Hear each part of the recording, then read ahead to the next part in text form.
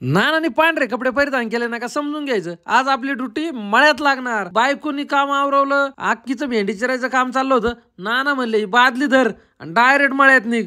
बायकोला घेऊन डायरेक्ट मळ्यात गेलो. तिथं गेलं का रॉकी आपला काय पिछा सोडित नाही भाऊ. काही करा पण रॉकी आपल्या संग राहणार. आता आखाड चालू आहे ना त्याच्यामुळं कोंबड्या थोड्या थोड्या थोड्या करून कमी होत चालल्यात बरं का. कारण लोक कापायला घेऊन जातात.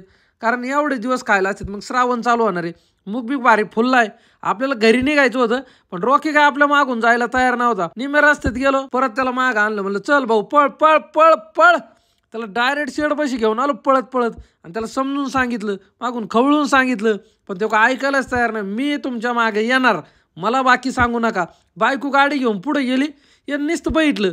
परत गाडी मागं डायरेक्ट म्हणलं अरे काय आहे दाद्या? तो काम तो करायचं. मी माझं काम करीतो. ते म्हणला नाही.